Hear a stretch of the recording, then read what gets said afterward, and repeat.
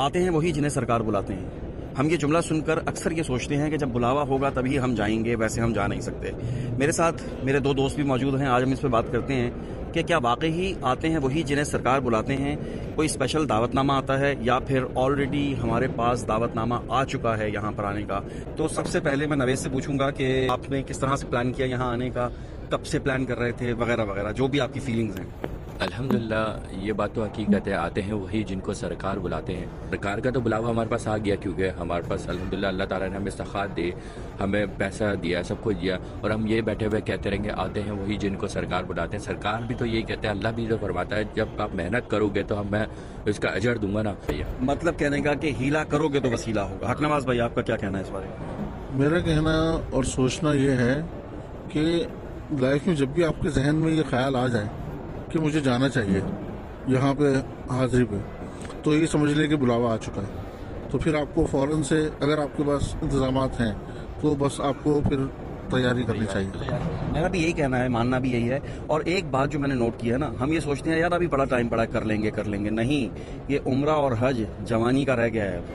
इतने मसाइल हैं, इतने, इतना मुश्किल काम हो जाता है कभी कभी अल्लाह करवाने वाला है, लेकिन ये बहुत इतना आसान काम नहीं है। इतना मुसलसल चलना, उम्र इतना मुश्किल है तो हज तो अभी तक हमने किया नहीं मैं नहीं पता।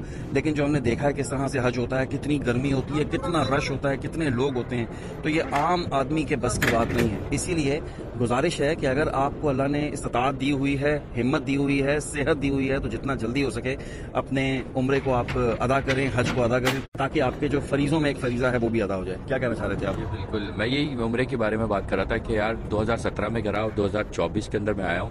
तो यार मुझे पता चल गया भाई कितना मुश्किल है तो मैं जब हज के लिए सोचता हूँ ना तो हज के लिए क्या कर, क्या करना पड़ेगा? मगर ये है कि अल्लाह ताला हिम्मत देगा मगर कोशिश यही कि जवानी में हज कर लो ना वो बेहतर है। बिल्कुल सही बस जितनी जल्दी कर रहे हैं ठीक है इसलिए कि रश बढ़ता जा रहा है। इसलिए मुश्किल लगता है लोगों को कि रश बहुत ज़्यादा होता जा रहा है। बिल्कुल जी, अगर आपके पास इस्तात है, अल्लाह ने आपके, आपको फाइनेंशियल मुस्तहकम बनाया हुआ है तो आपसे गुजारिश है कि जितना जल्दी हो सके उम्र का प्लान करें। सिर्फ़ आपने हिम्मत करनी है, बाकी सब कुछ हो जाता है, कोई मसला नहीं है। मैंने भी लास्ट टाइम 2017 में किया था, उसके बाद दोबारा कभी प्लान ही नहीं किया। दुनिया फिरते रहे, लेकिन कभी प्लान नहीं किया। अभी एकदम से प्लान किया और हम एक महीने में आ गए यहाँ पे, कोई मसला नहीं हुआ।